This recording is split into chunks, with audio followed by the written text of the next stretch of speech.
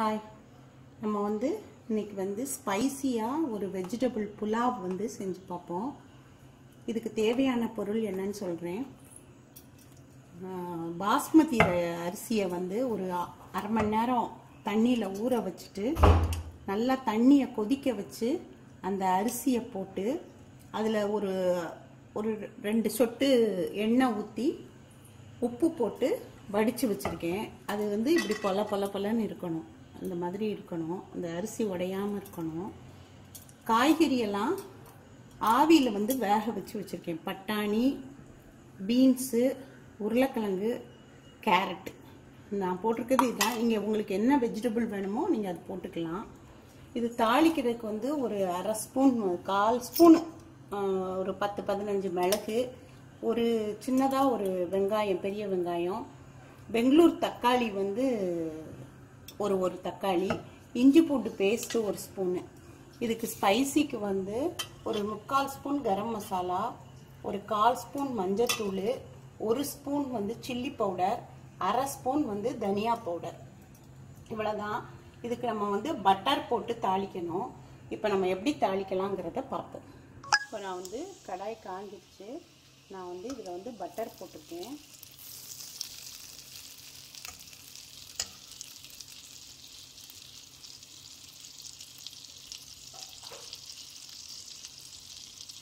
Butter வந்து melt ஆன உடனே நம்ம அந்த கால் டீஸ்பூன் வச்சுருக்கிற அந்த மிளகை வந்து இதில் போடுறோம்.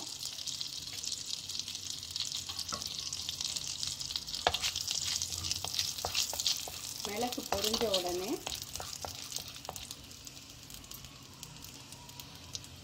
இஞ்சி பூண்டு பேஸ்ட்டு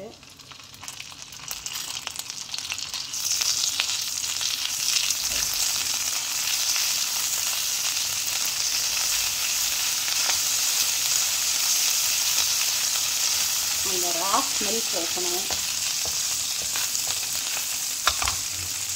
இதோட ஆனியன் போட்டுக்கலாம்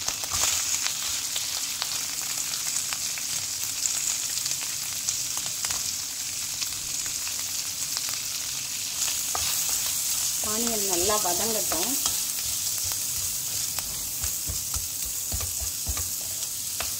மீடியம் ஃப்ளேம்லேயே வச்சு வதக்குங்க.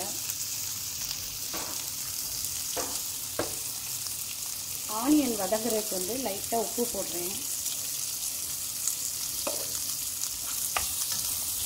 இப்போ வதக்கட்டும். வதங்கின பிறகு நம்ம காய்கறி தக்காளி எல்லாம் ஆட் பண்ணணும்.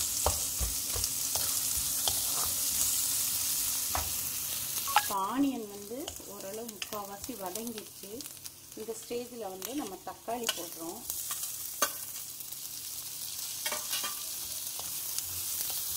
இது ரெண்டும் சேர்ந்து நல்லா வதங்கட்டும். வதங்கின பிறகு கொஞ்சம் தீயை குறைச்சி வச்சு வதக்குங்க. அதுக்கப்புறம் நம்ம வந்து பாயில்டு வெஜிடபிள்ஸ் தானே அதுக்கு இதில் வதங்கின பிறகு அது போட்டால் போதும். இதுவும் நல்லா வதங்கட்டும்.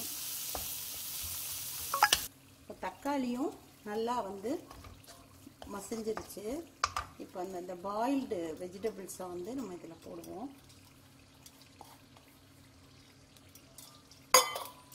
போட்டுட்டு அதை நல்லா பரட்டி விட்டுட்டு நான் வந்து ஆவியில் வேக வச்சு எடுத்து வச்சுருக்கேன். இதில் வந்து நம்ம அந்த ஸ்பைசி எல்லாம் போடலாம்.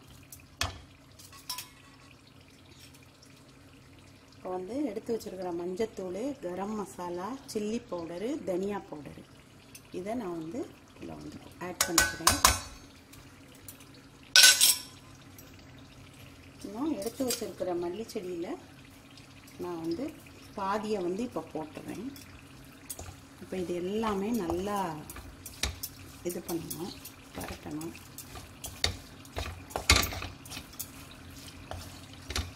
இப்போ இதுக்கு தேவையான அளவு எதுக்கும் நம்ம வந்து இப்போ வந்து வெங்காயம் வதங்க மட்டும்தான் உப்பு போட்டிருக்கோம்.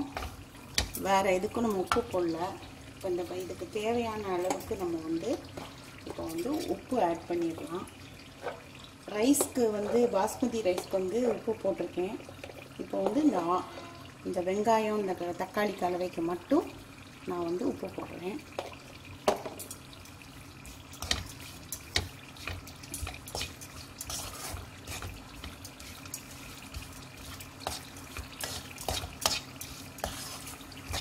அவ்வளோதான் இந்த இது எல்லாமே நம்ம வந்து ஒரு ரெண்டு நிமிஷம் மூடிட்டு அப்புறம் மீதி மல்லி செடியும் போட்டுட்டு பரட்டிட்டு நம்ம ரைஸ் போட்டு பரட்ட வேண்டியதுதான். இப்போ நம்ம இப்படி பரப்பி வச்சுட்டு ஒரு ரெண்டு நிமிஷம் இதை வந்து அந்த மசாலாம் ஒன்றா சேர்றதுக்காக மூடி வைப்போம்.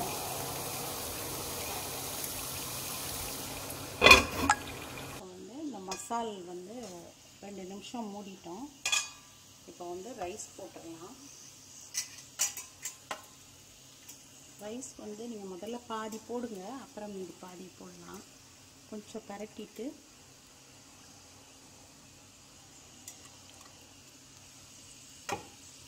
இந்த மீதி இருக்கிற அந்த மல்லி இலையும் அதில் போட்டுருங்க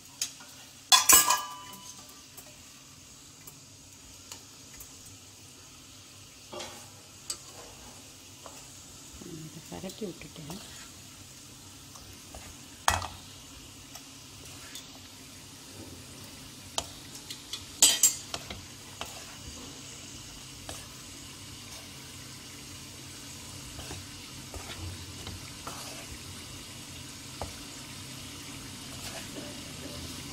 லைட்டாக இப்போ பரட்டிட்டோம். இப்போ மீதி ரைஸையும் இதில் போட்டுடலாம்.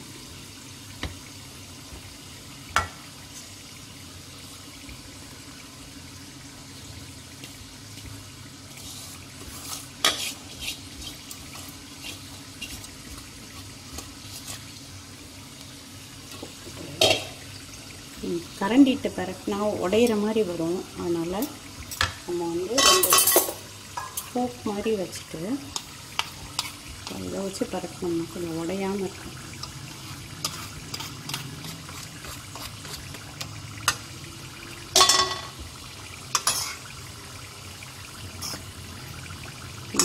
எவ்வளோ பரட்டினாலும் இது வந்து உடையாது. நீங்கள் ஒன்று போல் பரட்டிட்டு சோப் பண்ண வேண்டியதுதான்.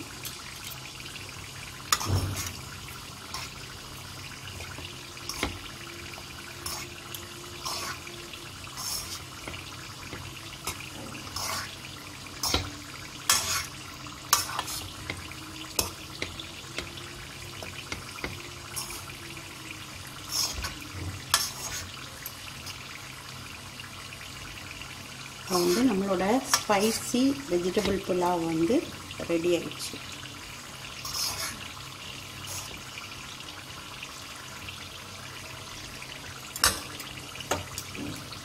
சிம்மில் தான் வச்சு பறக்கினேன் நான். இப்போ ஆஃப் பண்ணிட்டேன்